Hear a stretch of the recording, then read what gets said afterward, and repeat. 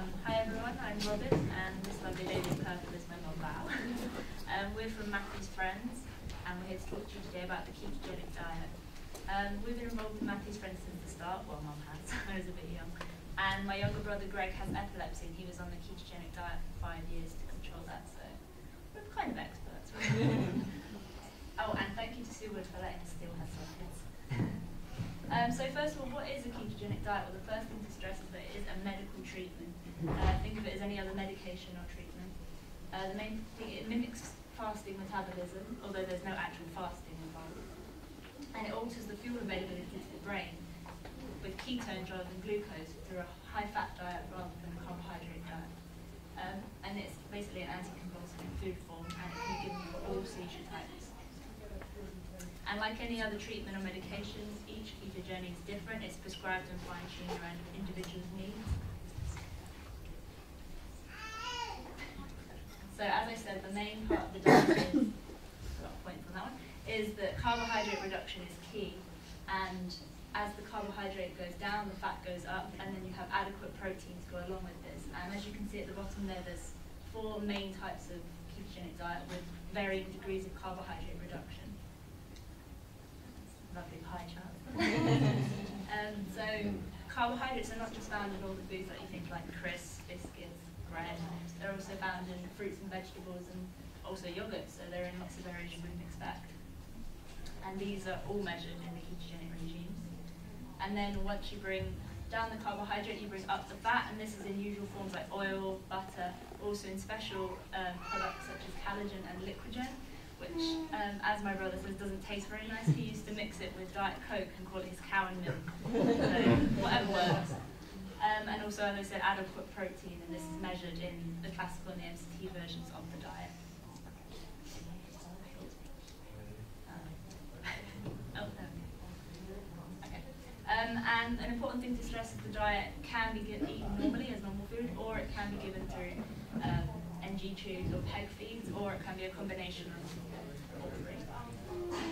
um, these are some examples of ketogenic meals, and I do recognise a few of those bowls. um, as you can see, the unpalatability stigma is well, not warranted, I think. There we go. So we've covered what the ketogenic diet is, so now how does it work? Well, truth be told, we don't actually know for sure, but there are some probable hypotheses, some such as the rise in blood ketone levels, which stimulates mitochondrial production, lower blood glucose levels, and the elevated fatty acids, and also the calorie control, or it's likely a combination of all these things. But like I said, truth be told, they don't know exactly. so at the moment, the ketogenic diet is mostly well known for its use in epilepsy, although it's also being used in cancer now and it's also being used and investigated for treatment and management of many other neurodegenerative disorders, mitochondrial disorders being one of them. And for example, going more detail, use in pyruvate dehydrogenase deficiency, I won't go through the whole picture.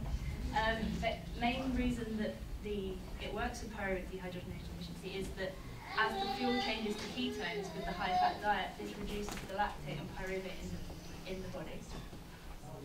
And actually this year, which I handily found for this presentation, uh, published earlier this year, there was a longitudinal study on PDHD patients. Uh, there were 19 pediatric patients and 10 of these had epilepsy and 50% of these became seizure-free within a year.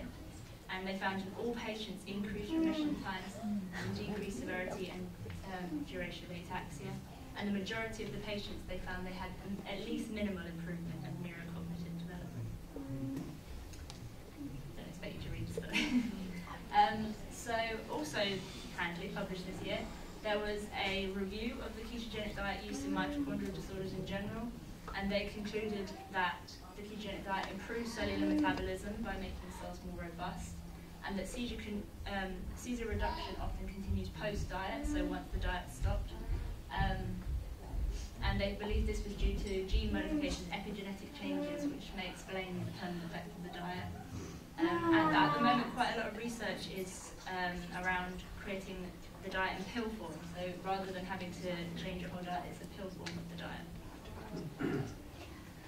So like any treatment or management, there's also contraindications. So I'm not going to read all those. so some of these would not go well with the diet, so hopefully that's not nice. I do have another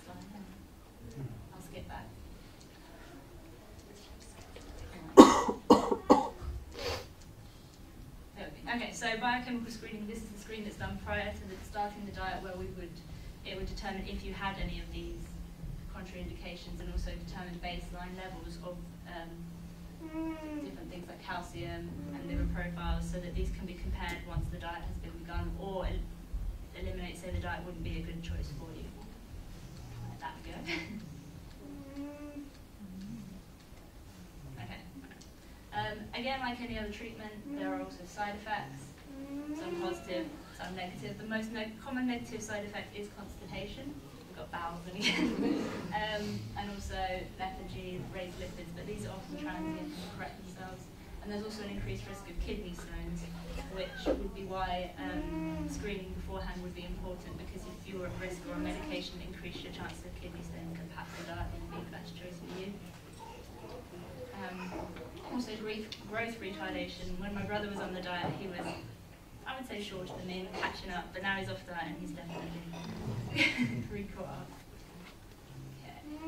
Um, another thing to stress is the ketogenic diet is not something you would undertake alone, it is a, definitely a team approach.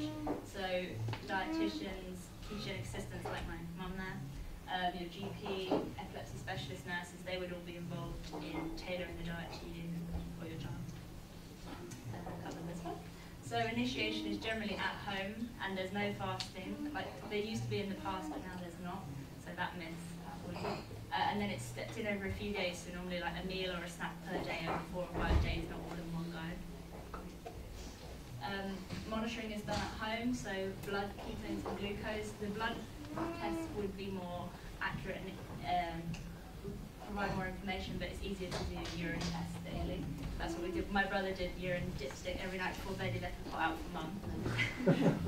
um, so um, on the next slide, there's a copy of a weekly monitoring report. So uh, the caregiver or person would fill this in each week and then send it to someone like my mum, and she would interpret it, and that through that they can see whether the diet's working efficiently or effectively, and possibly fine tune the diet to better suit the fine-tune the diet to uh, also adjust levels of ketosis, because in some patients higher levels would suit them better, and in others lower levels. It just depends on the individual.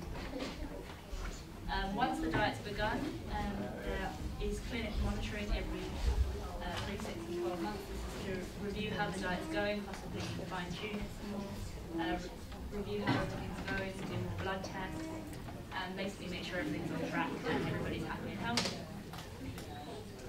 So in summary, the ketogenic diet can be effective in the management of difficult epilepsy and associated symptoms and also other conditions such as metabolic disorders.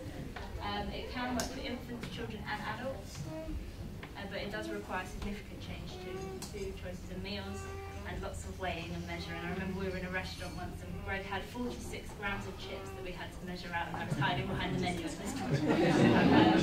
um, it requires um, experienced dietitian and medical support, so again, not something you would undertake on your own. And the treatment can last three months, two years. My brother was on it for five years. Some people are on it permanently or on a long-term basis, depending on the condition. So, the obligatory reference slide. And thank you for listening.